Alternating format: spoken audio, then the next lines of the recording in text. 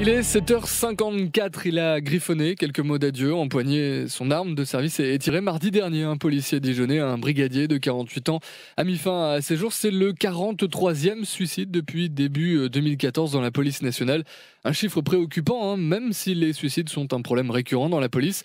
Pour parler de ce malaise, notre invité ce matin, Clara Guillet, Frédéric Paillard du syndicat Alliance Police Nationale en Bourgogne. Frédéric Paillard, bonjour. Place Suquet au commissariat central de Dijon. Euh, les collègues hein, de ce policier sont sous le choc.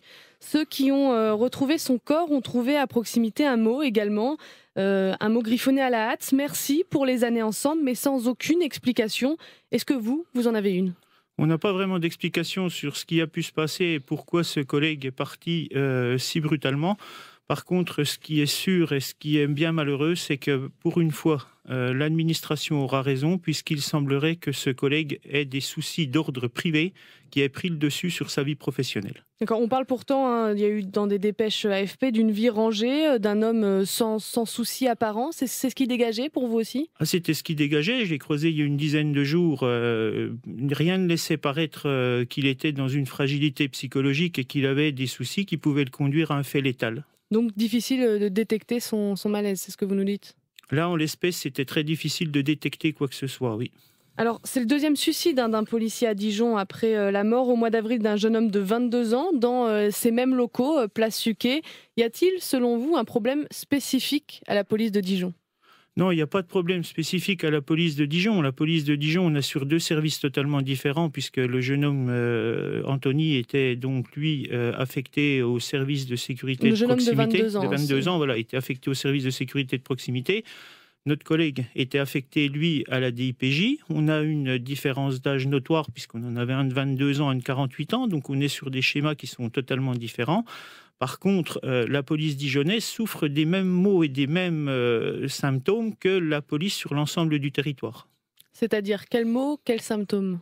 Bah, le symptôme, c'est le burn-out qui est présent, puisque maintenant on a trouvé un syndrome qui colle un petit peu euh, à cette réalité, et on a également un sentiment de mal-être et de ras-le-bol de la part de nos collègues, qui nous conduit déjà ben, à manifester le 13 novembre à Paris pour exprimer notre mécontentement sur tout ce qui ne va pas dans la police. Justement, comment on explique ce, mal-être et ce ras-le-bol? C'est quoi? Ça vient d'où? Un manque de moyens Une pression trop importante sur les policiers? Alors, le, manque de moyens est quelque chose qui est criant et qui est, à noter. Par contre, euh, les collègues de plus en plus ne sont pas soutenus dans leur travail au quotidien. On a une hiérarchie qui est, comme on peut le dire des fois, pesante et envahissante, avec une pression du chiffre.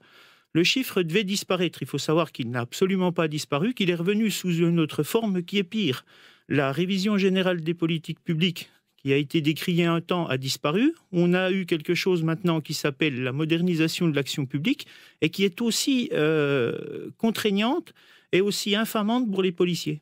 On parle aussi hein, d'un manque de moyens criant. Euh, vous nous donniez quelques exemples, des voitures qu'on ne change que tous les 400 000 km, du matériel vétuste. Ça, ça peut peser au quotidien euh, quand on travaille sur le moral des policiers? Bah écoutez, ça peut peser au quotidien. Le collègue qui patrouille pendant 8 heures dans une voiture et qui a un siège qui est mangé au mythe et qui a des trous ou un tableau de bord qui grince de, de tous les bouts parce que la voiture est en état euh, de décomposition avancée, ou le collègue qui travaille dans des locaux euh, qui sont pratiquement insalubres ou un vestiaire, euh, dans le vestiaire vous avez des fuites d'eau, vous avez des choses comme ça, c'est quand même pas très engageant d'arriver le matin et de se changer dans une cave. Ça, c'est la faute des pouvoirs publics?